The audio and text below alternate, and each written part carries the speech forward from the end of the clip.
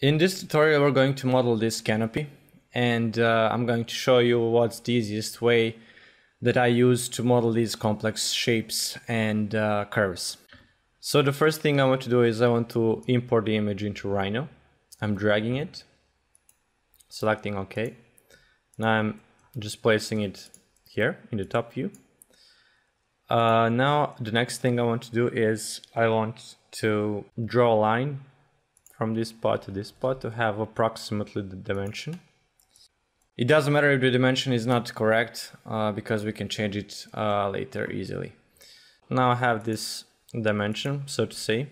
So I'm going to approximate that this is actually a square. So I'm copying this line over here. And then I'm just going to um, copy it once more.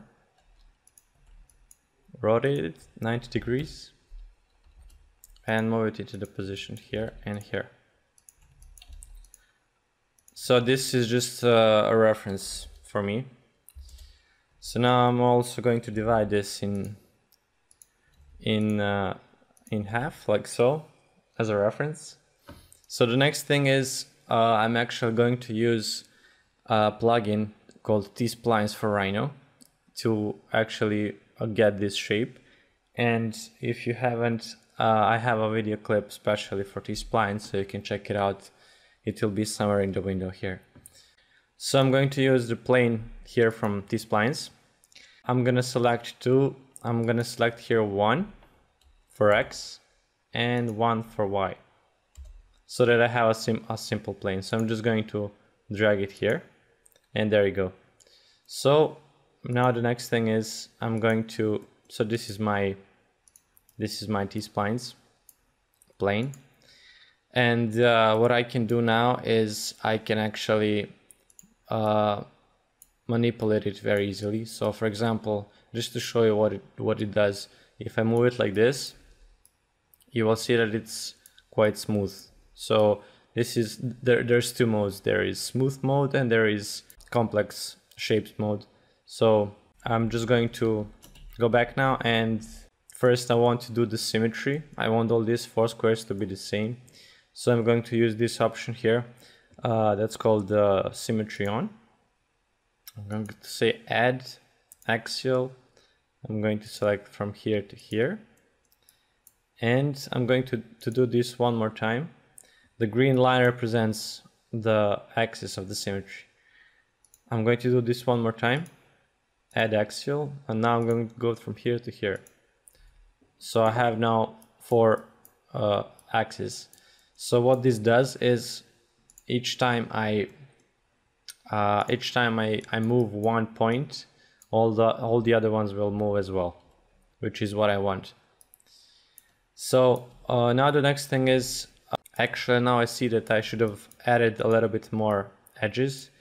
So in order to do that, I'm, I'm just going to uh, select uh, my plane. I'm going to select the edges, this one and this one for example. And I'm going to go to and click here, which is insert edge. Here in the, just going to turn this off for now. Here. So yeah, so now I have this edge all around the other planes as well because it's a symmetry. I'm going to do this uh, again Okay, so let's go to wireframe mode. Select the edge, T-spline edge, T-spline edge, and one more time T-spline edge. And selecting the insert edge command. There you go. So now we have uh, now we have this um,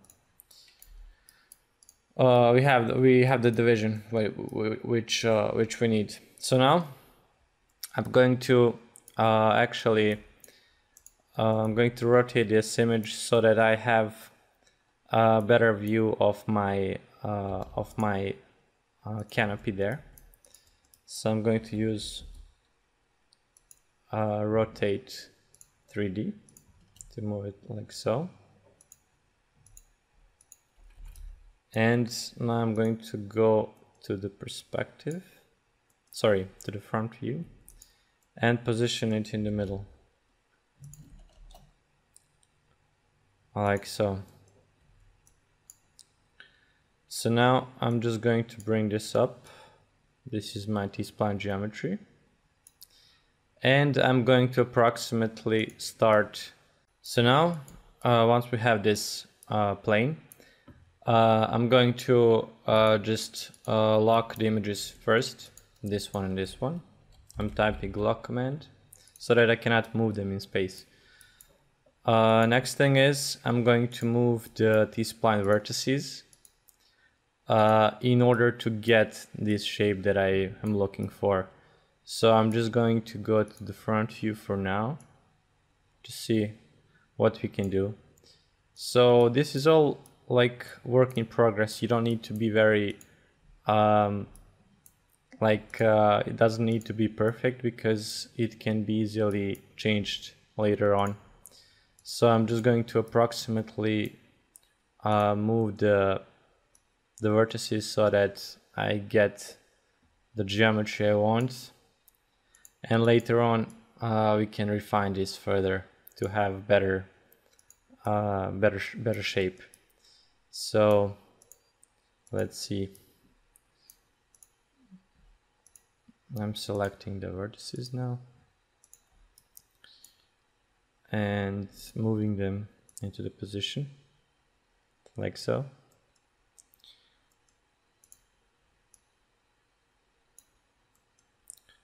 So let's say that I'm, I'm pretty satisfied with this shape, that I want to continue with it. And um, actually, I just saw that it actually has the curve here. So what we can do to make this curve is actually uh, just move these vertices a little bit down. So now I'm just going, once I had these two vertices selected, uh, I'm going to move them just tiny bit down and now move this one just a little bit to have this uh, slight uh, effect there. Maybe I can also move these ones a little bit. Just a little bit. To have better smooth uh, transition. Okay so once we're happy with the shape and we are finished with these splines. The way to convert this, I'm just going to select curves and delete them. Uh, so the way that I, that I would do this is uh, I would select the T-spline object and then there's this button here that says uh, convert uh, to Rhino convert to Rhino NURBS which is a right click so once I click right click it it's a Rhino geometry. So now I can do whatever I want with it in Rhino. So now once I have this surface, I'm just going to extrude it a little bit up. Like so, so it has some thickness. Then I'm going to use the, I'm going to use this border to create some sort of uh, edge around I just use the command duplicate border to get this shape. So once I have this border, I'm going to use offset uh, curve uh, on surface. This will be my base surface. I'm gonna flip it and uh, now I have my edge here. So once I have this uh, edge, I'm going to extrude it a little bit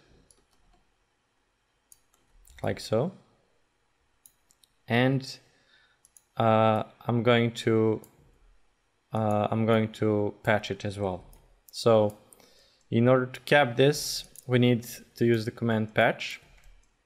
I'm going to select, I'm going to type duplicate border to have uh, the whole uh, border of the geometry. I'm going to deselect the bottom one and I'm going to use command patch now to have it uh, closed off. Uh, so once once it's closed off like like this, uh, then I can um, use it for for later. So now uh, I need to create this additional surface. So I'm going to use this patch surface that I created. Okay, so it's there. So this patch surface I'm going to to copy a little bit up and then I'm going to scale it up a little bit like so.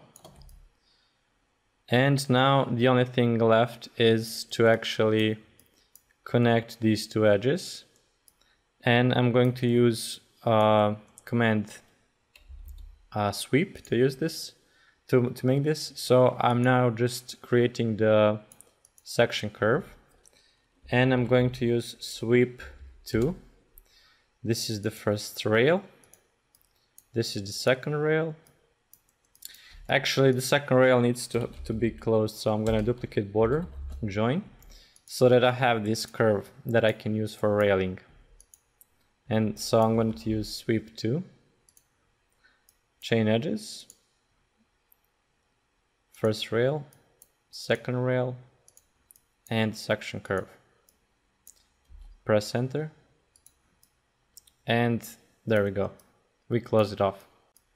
And there we go we close it off. Uh, now I'm just going to add a little bit of thickness to it. I'm going to extrude just a little bit so that it has the edge. So uh, that's uh, that's our main canopy.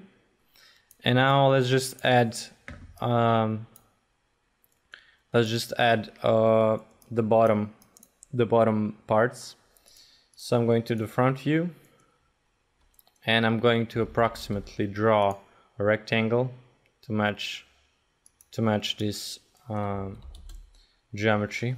I'm using the mirror command now and like so. So now I'm going to the top view, going to wireframe. I'm extruding this like so. I'm going to move it in the middle. Mid, that's it. And now I'm going to I'm going to actually use the uh, the side view to approximately uh, get sorry the perspective view to get the desired uh, look uh, this I'm gonna hide, I'm gonna use it for later. Let's cap these two. And I need to create these two, these four uh, columns. So I can, for example, copy these like so. I can scale them, uh, move them a little bit here, mirror them, like so. Um, let's position them correctly, like so. And now if we take a look at a picture, it's actually uh, scaling down. So I'm going to use uh, solid points on, scale it, like so. Maybe scale it even a little bit like this, in this direction. And uh, and there it is, that's our column. So now I'm just going to I'm just going to position them correctly.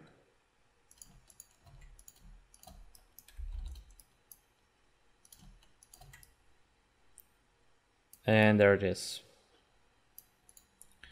Let's unlock the geometry, hide all of this, move it to the center. And uh, let's render it, see how it looks. So here is our final result. Uh, this is the render that we did from our model. Uh, hope you like it and uh, if you like these videos, please share and subscribe.